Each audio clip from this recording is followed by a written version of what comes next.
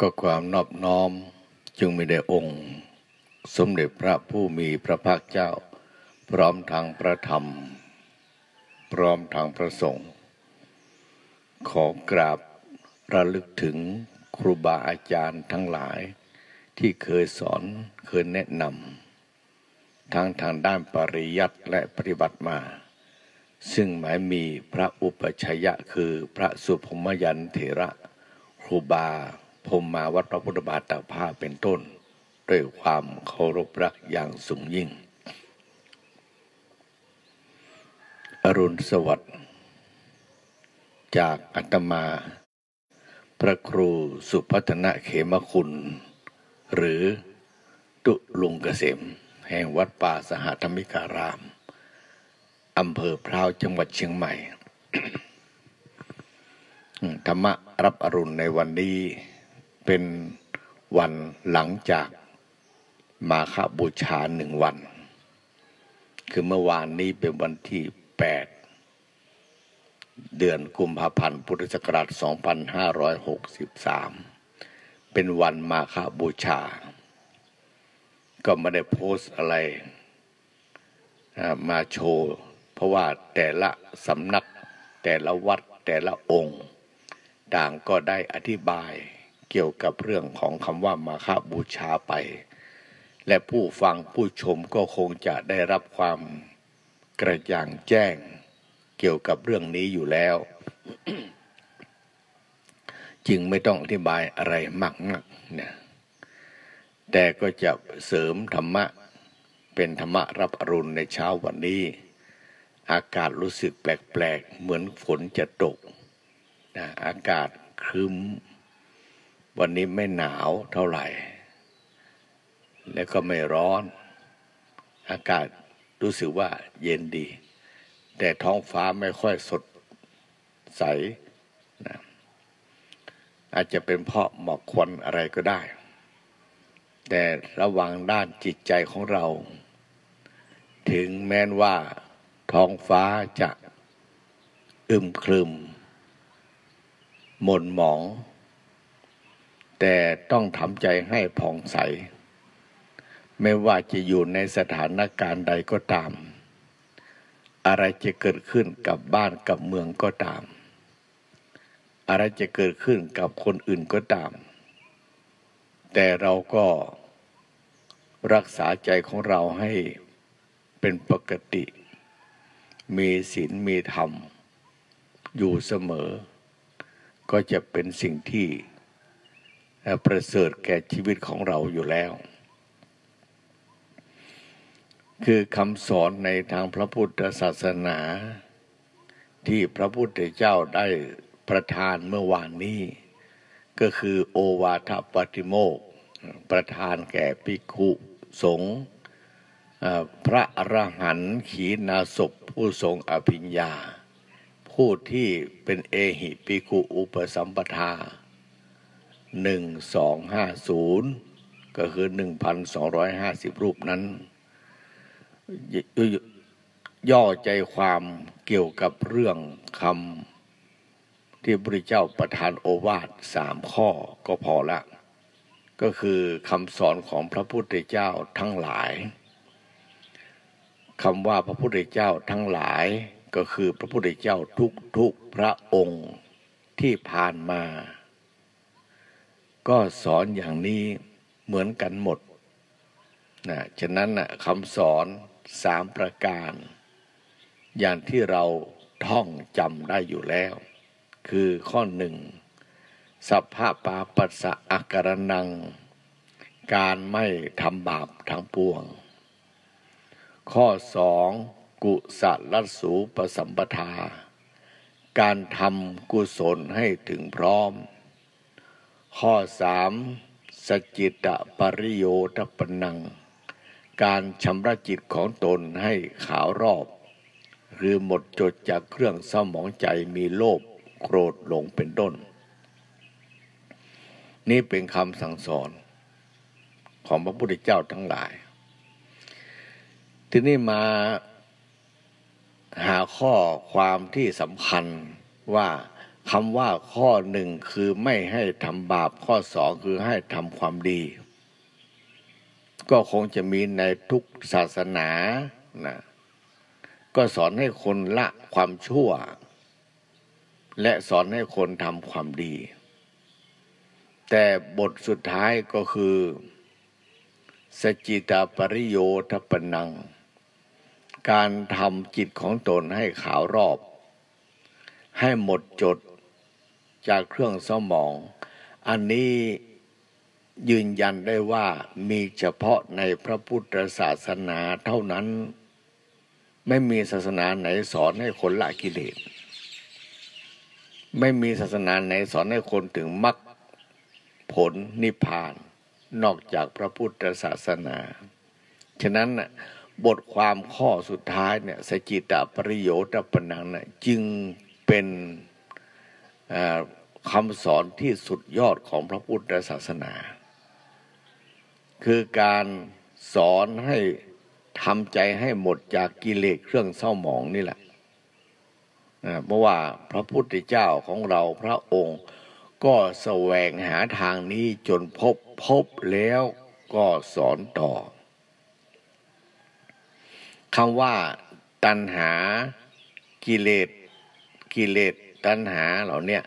จะไม่หลงเหลืออยู่ในสันดานของพระอริยเจ้าทั้งหลาย มีพระพุทธเจ้าเป็นต้น และเมื่อตัดตัณหาตัดกิเลสได้ ความเกิดแก่เจ็บตายก็ถูกตัดไปโดยอัตโนมัติ ฉะนั้นคำว่าเกิดอีกคำว่าพบใหม่อีก พบอื่นอีก ก็จบสิ้นไม่มีอีกแล้ว เพราะการเกิดอีกนั้นเกิดด้วยอำนาจของกิเลสตัณหา การไม่มีกิเลสตัณหาเหตุที่ทำให้เกิดอีกก็ไม่มีอีกแล้ว ก็จบ สิ้นตรงนี้ แต่พระพุทธองค์จบแล้วถึงแล้ว แต่พระองค์ก็ยังทำงานต่อเพื่อผู้อื่น เขาเรียกว่า พระคุณหนึ่งก็คืออัตตหิตประโยชน์ เป็นพระคุณต่อพระองค์เอง ข้อสองคือประหิตประโยชน์ พระคุณเพื่อผู้อื่นมีสองประการ คือพระพุทธเจ้าเกิดมาเพื่อตนเองและผู้อื่น พระปัจเจกพุทธเจ้าเกิดมาเพื่อพระองค์เองไม่ได้เพื่อผู้อื่น คือไม่ได้ตั้งคำสอนไม่ได้สอนไม่ได้ไม่ได้ตั้งศาสนาขึ้นมา บรรลุเหมือนพระพุทธเจ้าทุกประการ แต่ว่าไม่สามารถตั้งศาสนาได้ ไม่ได้เผยแผ่ไม่มีสาวกไม่มีสาวิกาอะไรเลย นี่คือพระปัจเจกพระเจ้า ได้หิ อัตตหิตประโยชน์ แต่ไม่ได้ปะระหิตประโยชน์ ฉะนั้นพระสัมมาสัมพุทธเจ้าทุกพระองค์ ทรงประกอบด้วยพระคุณทั้งสองคือ อัตตหิตประโยชน์ และปะระหิตประโยชน์ คือเพื่อพระองค์เองประการหนึ่ง และก็เพื่อโลกสรรพสัตว์ทั้งหลายประการหนึ่ง ตัวเองหลุดพ้นแล้ว ก็ยังพาผู้อื่นหลุดพ้นไปด้วย เนี่ยคือเป็นประโยชน์ทั้งสองฝ่ายนั้นพวกเราทั้งหลาย มีความสุขใจภูมิใจในข้อนี้ว่า เออ พระพุทธเจ้า เน้นมุ่งหวังจะช่วยอนุเคราะห์ประชาชน เราก็เรียนคำสอนพระพุทธเจ้า เราก็เดินตามรอยพระยุคลบาของพระศาสดา ไม่ได้หมายถึงเดินตามด้วยกายเดินด้วยเท้า แต่เดินตามโดยปฏิปทา ปฏิปทาของพระพุทธเจ้า ไปดีแล้วเราก็เดินตามนั้น พระพุทธเจ้าไปถึงแล้ว เราก็จะไปถึงอย่างที่พระพุทธเจ้าถึง คือมรรคผลนิพพานดังนั้นเรายังเป็นปุถุชนผู้ที่ยังมีกิเลสอยู่ เรายังไม่ถึงมรรคผลนิพพาน เราก็สั่งสมบุญสั่งสมบารมีไปเรื่อยๆ ก็เป็นเรียกว่ากุศลสุปสัมปทา การทำกุศลให้ถึงพร้อม เราสร้างความดีไปก่อน ถ้าเราไม่ถึงขั้นที่ว่าถึงว่าผลนิพพาน แล้วก็มีการให้ทาน รักษาศีลภาวนา ฟังธรรมปฏิบัติธรรมไป สั่งสมไปเรื่อยๆ เหมือนกับพระพุทธเจ้าของเราเมื่อพระองค์ยังไม่ได้ตรัสรู้อนุตตรสมมาสัมโพธิญาณ พระพุทธเจ้าก็ได้เกิดตายตายเกิดเหมือนกับเรานี่แหละ เมื่อพระพุทธเจ้ายังไม่ได้พบอาสวะขยายานก็ต้องเกิดต้องตายเหมือนกัน เนี่ยพระพุทธเจ้าถึงแล้วก็พยายามสอนให้พวกเราให้ไม่เกิดไม่ตายเหมือนพระองค์ด้วยเช่นกัน แต่เราจะทำได้หรือไม่ได้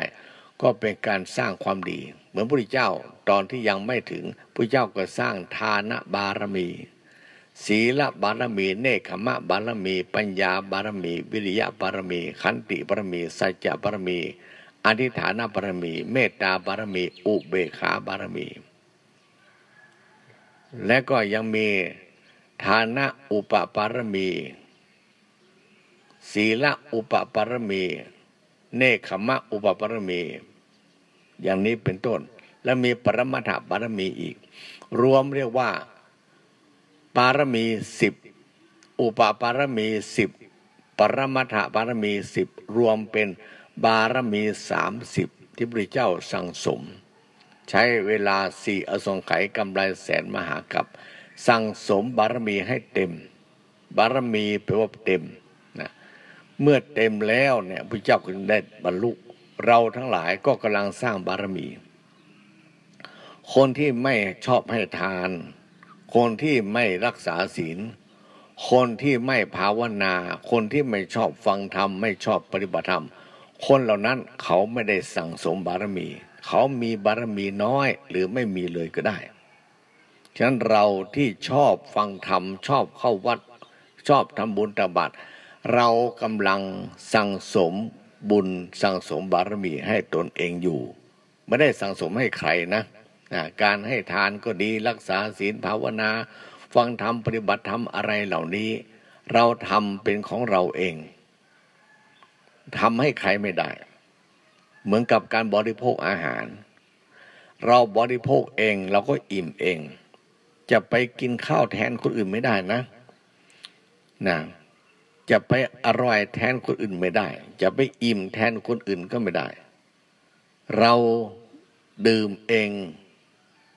บริโภคเอง อิ่มเอง รู้รสเอง ไม่มีใครที่จะทำให้เรารู้ หรือไม่มีใครที่เราจะทำให้เขารู้ด้วย นั่นเรารู้ของเราเอง ฉะนั้นการประพฤติธรรมการปฏิบัติธรรมก็เช่นเดียวกัน เราก็ต้อง ทำเองรู้เอง ให้ทานรักษาศีลภาวนา ก็ทำของเราเอง เป็นบารมีของใครของมัน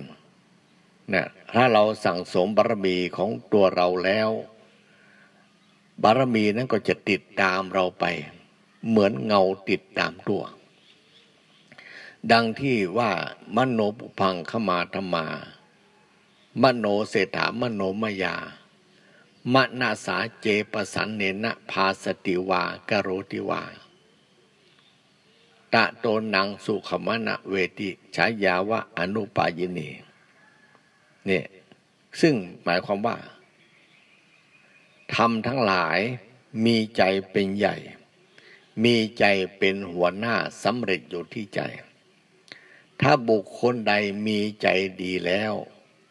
ทำอยู่ก็ดี พูดอยู่ก็ดี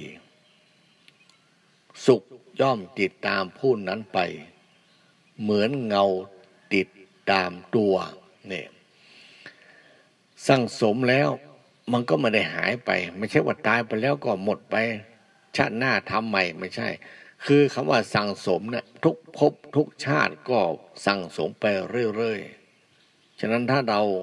ไม่สั่งสมชาตินี้รอชาติหน้า ถ้าชาติหน้าไม่สังสมอีกเนี่ยมันก็ไม่มีบารมีอะไรให้เกิดตัวเองนั้นการทำบารมีก็ไม่จำเป็นจะต้องเลือกวันเวลาหรอก วันนี้วันเสียวันนี้วันดีไม่มีนะการทำความดี ก็ต้องทำได้ทุกวันเวลา และทุกสถานการณ์ อย่างวันมาฆบูชาที่ผ่านมา มาฆบูชาแล้วก็ ทำบุญกันยิ่งใหญ่ เอาละวันนี้หลังจากมาฆะอีกวันหนึ่ง เราก็ไม่ได้ทำหยุดไว้ ไม่ใช่อย่างนั้น เราต้องทำให้ต่อเนื่อง เพราะการทำความดีบุญกุศลเนี่ยไม่จำกัดกาละเวลาไม่จำกัดสถานที่ ก็อยู่ที่ใจของเรานี่เอง ถ้าเรามีจิตใจพร้อมที่จะทำเราก็ได้กุศลผลบุญถ้าไม่พร้อมก็ไม่ได้จะต้องพร้อม ใจด้วยนะ ให้ทานก็ต้องตั้งใจ รักษาศีลก็ตั้งใจ ภาวนาก็ตั้งใจ จึงจะได้อานิสงส์นะถ้าไม่ตั้งใจทำตามประเพณีเฉยๆมันก็ไม่ได้อะไรทำบุญไปวัดไปวาแห่เครื่องทยทานไป แต่ยังเอาเหล้าไปด้วยอย่างเงี้ย ให้ทานตามประเพณีไม่ได้ให้ทานด้วยจิตศรัทธา ไม่มีศีลมีธรรมเป็นเครื่องนำยังมีสุรามีไรนำอยู่อย่างเนี้ย ก็ทำบุญไม่ถูกต้องทำบุญไม่ได้บุญก็มีนะเพียงจะได้ความพร้อมเพียงความสามัคคี ความสนุกสนานที่จะเป็นบุญบารมีนั้นไม่มี ฉะนั้นการสร้างบุญญาบารมีจะต้องพร้อมด้วยทานศีลภาวนาทั้งสามประการนะให้ครบถ้วนนะจึงจะเป็นบุญเป็นบารมี จึงฝากเอาไว้ว่าคำสอนในพระพุทธศาสนาเนี่ยแปดหมื่นสี่พันพระธรรมขันธ์ย่อแล้วก็เหลือสามประการคือไม่ทำบาปหนึ่งสองทำบุญหนึ่งสามการทำจิตของตนให้หมดจากเครื่องสมอง ตัดภพหมดเวียนว่ายตายเกิดหนึ่งอันนี้อยู่ในพระพุทธศาสนาอย่างเดียว ข้อที่สามนี้ศาสนาอื่นไม่มีสอน ราะว่าสอนละกิเลสสอนลดกิเลสสอนให้ถึงมรรคผลนิพพานไม่มีนอกจากพระพุทธศาสนา แต่เมื่อมีแล้วเราไม่ปฏิบัติก็ไม่มีประโยชน์อะไร เช่นเดียวกัน ฉะนั้นจึงขอฝากไว้เป็นธรรมะรับอรุณในเช้าวันนี้จากด้านหน้าวิหารวัดป่าสหธรรมิการามนะก็ขอ ความสุขความเจริญในธรรม จงบังเกิดแก่ท่านผู้ฟัง ท่านผู้ชมโดยทั่วกัน ทุกท่านทุกคนเทิน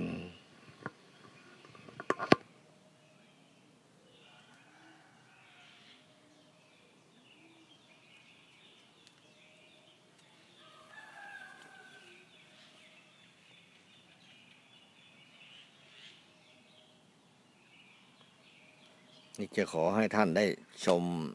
บรรยากาศเล็ก ๆ น้อยๆนะครับ บริเวณด้านหน้าของวิหารนะครับ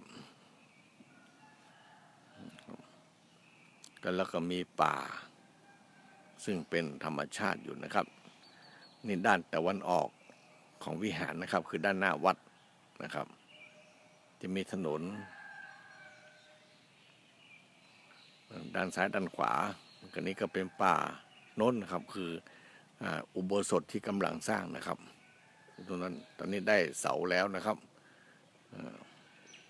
นี่ก็ให้ชมบริเวณที่ท่านหลาย ๆ คนเคยมานะโยม ตอนนี้ก็โยมแก้วเรือนท่านอันสีโยมน้อยวาเลนเต้ก็กำลังชมอยู่เนี่ยได้ดูได้เห็นนะนี่ก็มีฝรั่งอเล็ก อเล็กก็ชมอยู่ด้วยจำลองเสียงใหญ่ก็ชมอยู่ โยมพรณพัฒน์ก็ชมอยู่นะก็เจริญพรทุกท่านนะนะโยมกันทิสาแก้วยานะโยมนวรัตเดียก็ชมอยู่นะเหินเวหาก็ชมอยู่ สุทัศน์ จิตรักก็ชมอยู่นะเมวชนิดา ไหมมณีสีหนุ่มมโนดนะขออนุโมทนาด้วยนะยมประมวลวรวานิชนะยมชัยก็ยังชมอยู่นะก็ขออนุโมทนาทุกๆท่านนะครับ ขอความสุขความเจริญจงมาเกิดแก่ทุกท่านเลยเจริญพร